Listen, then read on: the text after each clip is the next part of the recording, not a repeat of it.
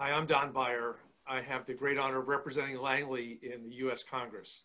And my family and I have been connected with Langley for a long time.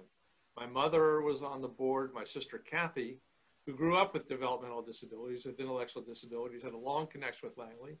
And my favorite niece, Carly Coho, was chairman, and her husband, her new husband, Ken, is the chair right now. We have uh, the dealerships, the family business has often been a Langley sponsor, and we've been blessed through the years to employ individuals with intellectual disabilities, both in the business and on Capitol Hill. Anyway, I wish you a very successful gala and the most wonderful success taking care of our folks with intellectual disabilities who deserve the richest possible life with the most possible independence. Thank you and good luck.